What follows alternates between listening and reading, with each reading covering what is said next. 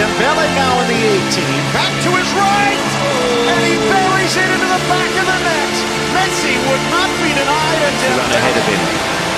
Dembele's fed by Messi, only the goalkeeper to beat. Round the goalkeeper, saved. Not Suarez, a little touch back to Messi. Messi finding Coutinho. Seems to be out. Messi will retrieve the situation, plays it through on side Jordi Alba. Messi looks up, turns. It falls to Sergi coming and playing with Messi week in, week out. Oh, lovely ball to Aleñá from Messi. 2-0, and it's Carlos Aleñá, the youth academy. Flag for danger up here. It's Messi and still and Suarez. Barcelona in front.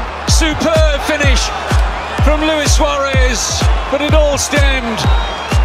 Aleñá finds Messi. Messi over the top towards Suarez.